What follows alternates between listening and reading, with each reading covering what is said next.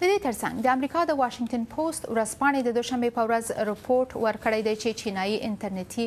تیری کوونکي چې هکران یې بولی د امریکا د متحده ایالاتو د یو شمیر پرمختللو وسلو سیستم ته ورننوتی دي پوره معلومات به زموږ د همکار غورځنګ نه واخلو چې موږ سره اوس مل دی په خیر راغلی غورځنګ صاحب مهرباني شایسته جان سلام تاسو او محترم لیدونکو ته د پنتاګون چارواکي وایي چې چین د امریکا د متحده ایالاتو د پرمختللو وسلو سیستم هک کړی دی خو د امریکا د متحده ایالاتو دفاعي قدرت ته کومه صدمه نه ده رسولې د واشنګټن پوسټ د ورځپاڼې له قوله چینایي انټرنیټي هکران د امریکا د جنګي الوتکو کښتیو او دفاعي توغندیو د سیستم د اسنادو پاڼو ته ورننوتي دي په دې هکله د امریکا غږ د پنتاګون خبریالې لیوز رامیز یو رپورټ برابر کړی چې تاسو ته یې زه وړاندې کوم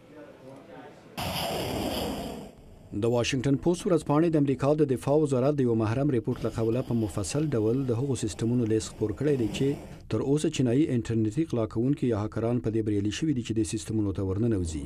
په دفاعي سیستمونو کې پاتریوت مزایل او پرمختللې اف 15 الوتکې شاملې دي خو اوس پوښتنه دا ده چې واشنګټن به د دې سایبري یا انټرنیټي بریدونو چې د چین لخوا ترسره کیږي څه عکس العمل وښیي د امریکا جمهور رئیس باراک اوباما د دې کال په پیل کې د امریکا کانګرس ته په خپله کلنۍ وینا کې دې ټکي ته اشاره کړې وه او وايي. We know foreign countries and companies swipe our corporate secrets. موږ پوهیږو چې بهرني هیوادونه او شرکتونه زموږ د شرکتونو د اسرارو د لاسته راوړلو په لټه کې دي. اوس زموږ دښمنان د دې په لټه کې دي چې زموږ د برېښنا شبکو ته زیان ورسوي. همدارنګه دوی غواړي زموږ مالي بنسټونه او د هوایي ترافیک سیستمونه زیانمن کړي. د اتلانتیک په شورا کې د انټرنیټي سیستمونو د مصؤنیت کارپوه جیسن هیلي وايي، د امریکا د متحده ایالاتو په وړاندې د دا ډول حملو ګواښونه زیات شوي او چین کوښښ کوي چې زموږ د پرمختللو وسلو سیستمونو ته د ورننوتلو لاره پیدا کاندي. موږ پوهیږو چې چینایانو د خپلو دفاعي تسلیحاتو اخیستل په څو تیرو وروستیو کلونو کې زیات کړي دي.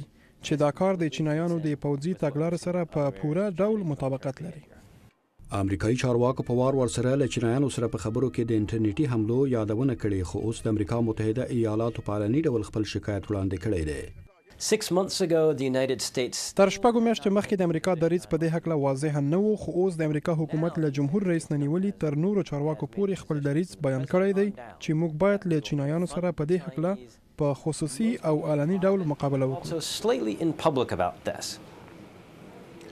پنتاګون وايي چې دوی استخباراتي ګواښونو ته په جدي توګه ګوري او د هغو په وړاندې د غښتلو ګامونو د پورته کولو لپاره په زغرده کار کوي. په نظر کې ده چې د امریکا د دفاع وزیر چک هیګل به په څو راتلونکو ورځو کې دا موضوع د اسیايي هېوادونو په دفاعي غونډه کې د چین له دفاعي چارواکو سره راپورته کړي. شایسته جان. ستاسو نه غورځنګ صاحب کور مو ودان.